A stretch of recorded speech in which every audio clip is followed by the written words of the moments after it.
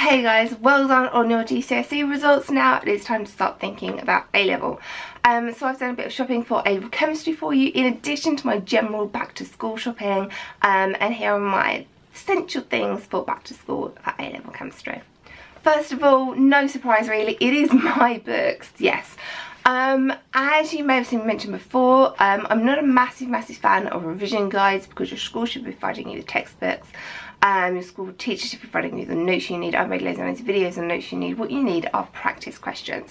And that is what I've made for you in these workbooks here. Loads and loads of practice questions, answers in the back, and loads, um, this one ends with a really big block long exam paper, loads of multiple choice questions in the start of the exam. So this is the um, atom selection, structure and bonding one, and there's also the summer starts A-level chemistry, which is going to be, these are kind of like your, your introduction to chemistry. So if you find yourself struggling a little bit in class, class because there's a big, big jump between um, GCSE and A-level, I would recommend my books.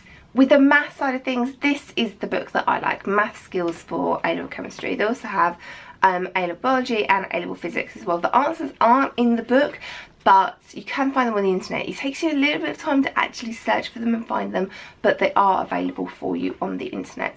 Um, it's not a massive book, but what it does have is like a page of worked examples and then a page of kind of like a couple of questions. So there's not loads and loads of questions in there. There's a few questions for you to practice. Um, it's not massive, but I'm going to be making loads and loads more videos for you on maths this year. I'm afraid you have to do a lot of recalls. So flashcards. Whether you want to make your own flashcards, whether you want to download some of the ones I've made for you over on my website, um, you're going to need to know things like um, your common values, your common formulas, and you're going to need to know your ions for everything. These are absolutely essential for A-level flashcards. Molymods are another absolute essential. I am evangelical about these by the fact that by Christmas time the majority of my class have gone out and bought their own kits. Your school may have loads and loads to provide you, they may not. These are ways of seeing compounds in 3D. This is so, so useful when you actually come to do things like shaping molecules and bonding as I have said before, you are going to need to develop um, an interest, a passion for something so that when you go to your UCAS application, when you go to your university interviews, you can talk about something with confidence and you can talk about it a lot, much, much beyond the scope of your A-level. So here are, three series, I haven't got the other book here because I can't remember it at the moment, um, which they, they, they cover quite a lot of topics but they cover them in a really, really accessible broad way. So first of all we have graphic guides.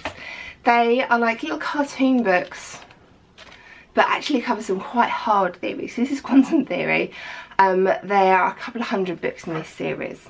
Slightly more challenging, um, written by like yeah, university professors, are a very short introduction to. Again, these aren't proper textbooks, they're just very short introductions to topics.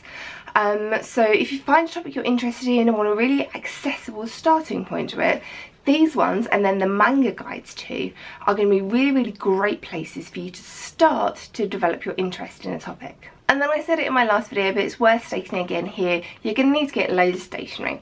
So nice tapes so you can colour code all your books, post-it notes so you can work out which bits you need to do when, these notepads are awesome because you can doodle in class and then these pens are so so good for A-level chemistry because you're going to be one highlighting your notes and this one here is three pens and a pencil not just your standard four colour pens.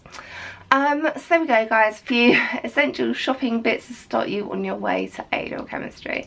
Um, it is really really really good fun, I promise.